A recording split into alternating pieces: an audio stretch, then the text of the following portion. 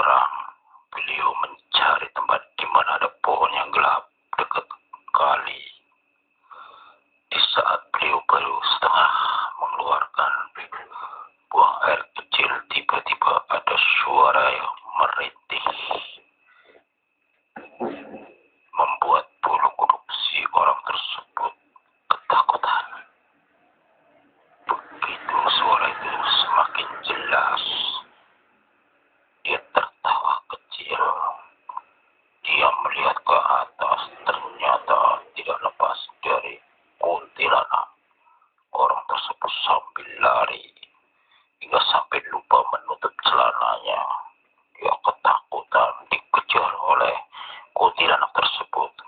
Dengan mudahnya kuntilanak itu mengejar sambil terbang. Tak lama kemudian, bertemulah rombongan anak muda-mudi berpapasan. Lantas ditanyalah, ada apa bang, ada apa, ada apa? Oh lihat tuh di atas. Mereka begitu melihat ikut lari terpirit-pirit. Kebetulan masuk di perkampungan banyak warga yang sedang nongkrong di situlah mereka berhenti ditegurlah salah satu orang yang sedang nongkrong ada apa deh ada apa ini orang ini. Kenapa bang? Tadi saya kan turun dari omprengan ke belet tipis. Saya cari pohon yang gelap. Yang kencing di situ. Baru buka baru setengah-tengah saya buang air kecil.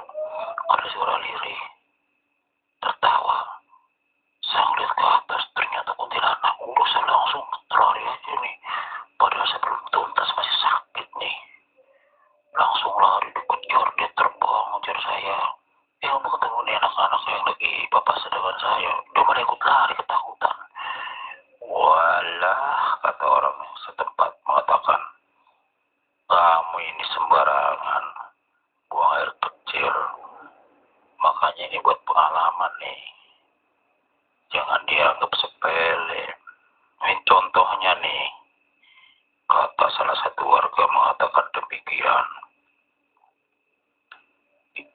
jam gini hari dedem itu udah mulai keluar nih apalagi kuntilanak di mana bang pohon yang mana lo yang jembatan dekat kali ya kan ada pohon itu pas saya turun dari omprengan saya kebelet pipis dengan lahan udah aja saya ngeliat nyari pohon yang kira-kira gelap tuh ya nggak kena cahaya orang biar nggak ngeliat saya tiba-tiba pas baru setengah-setengah saya buang tuh air kecil ada suara lirih tertawa eh ternyata pas saya nengok ke atas kuntilanak lantas orang ramai-ramai ih serem banget sih bang lantas salah satu warga bapak-bapak menjelaskan kembali dek lain kali hati-hati permisi-permisi kayak lagian buang air kecil sembarangan.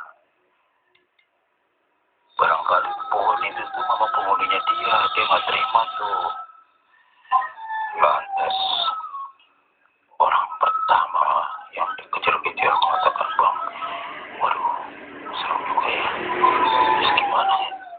Dia ngikutin saya pulang ke rumah nggak ya? Salah satunya ngeliat lagi ya bang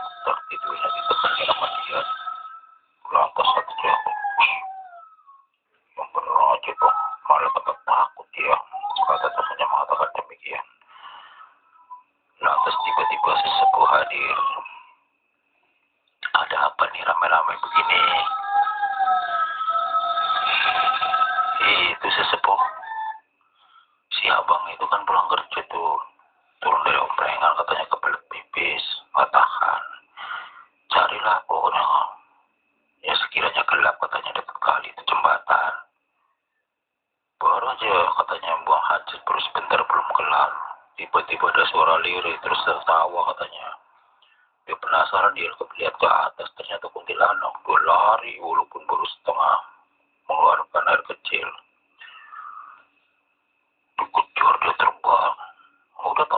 sama rombongan anak-anaknya. Akhirnya kami lari seraba-raba, ketakutan. Terus sesepunya mengatakan, dia ngajar sampai di mana? Tadi masih di seputar kali.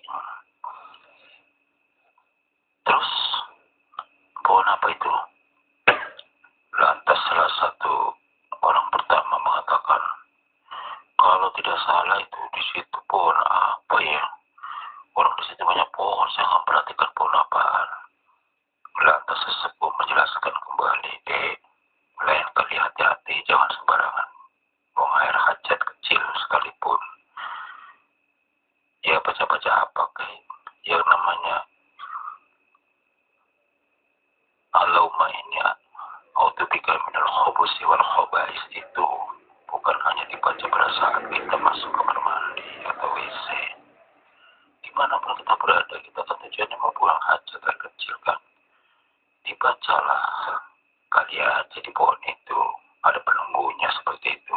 Nah, kenyataannya si abang ini baru buang hajat, baru sebagian langsung kabur. Ini buat pengalaman yang lain, hati-hati. Bukan berarti saya nakut-nakuti. Kalau orang bilang kan, permisi-permisi ke. Cuman jangan cuma permisi aja.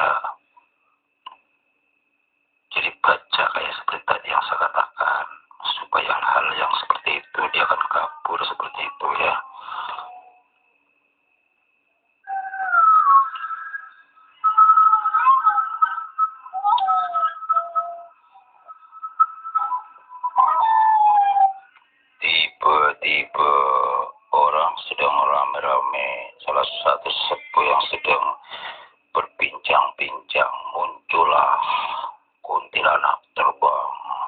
Ternyata kuntilanak itu tidak sendirian bertiga hadir melayang di udara.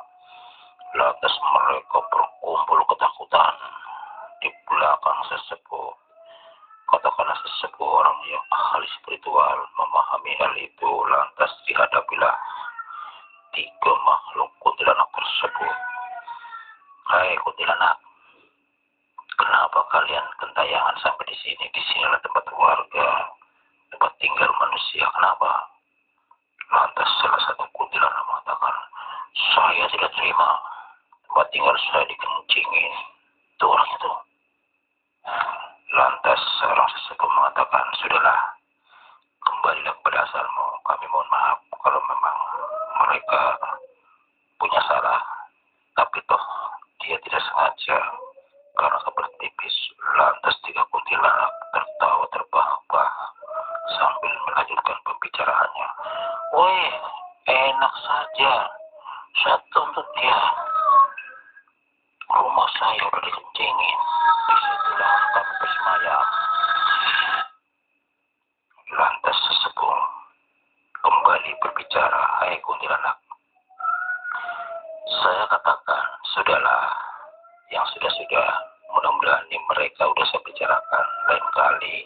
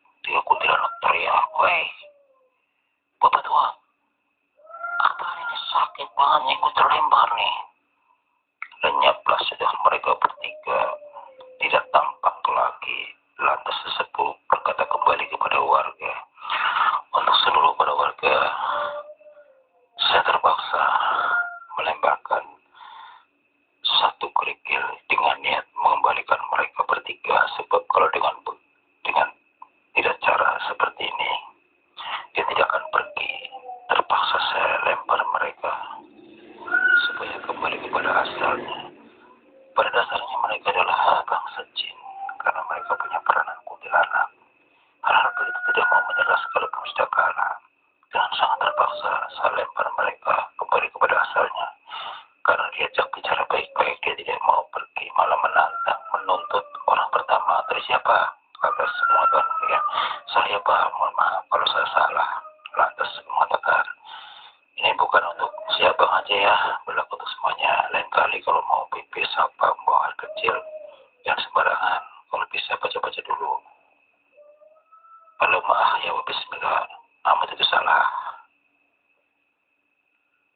Ya, sebenarnya doa tadi yang pertama yang saya ucapkan ini a'udzubika minal khubusi wal khaba'is seperti itu ya. Jadi kalau orang awam tuh kurang paham doa ini bukan hanya untuk di kamar mandi saja. Nah nyatanya kan tadi membuat hajat berdoalah sekalipun bukan di kamar mandi ya. Jadi berlaku untuk siapa saja ini buat pengalaman. Coba kalau nggak ketemu orang-orang yang seperti ini termasuk saya. Ini saya mengirim saya dikejar sampai ke rumah lantas mereka semuanya merinding ketakutan. Uh serem juga ya. Benar juga kata saya. Bisa-bisa ya ditemenin tidur ntar mereka sambil tertawa dan ketakutan yang ramai-ramai di situ. Lantas menyudahi sepuh ya sudah. Kalian masing-masing pada istirahat udah malam. Abang baca-baca ya. Sambil menuju rumah kalau satunya lagi jeletuk warga di situ. Iya bang. Dan diikutin lo saya masuk ke rumah. Tiba-tiba ntar nemenin tidur lagi. Lagi-lagi orang-orang tersebut tertawa. Padahal mereka sebelumnya ketakutan. Hanya karena ada sesepuh saja mereka merasa tenang. Di situlah saudara pendengar yang berbahagia. Inilah sekelumit seseorang yang membuang air kecil sembarangan tanpa sengaja terdapat pohon itu adalah ada kuntilanak di mana kuntilanak bersemayam di pohon tersebut. Tidak terima adanya orang tersebut membuang air kecil sembarangan. Wassalamualaikum warahmatullahi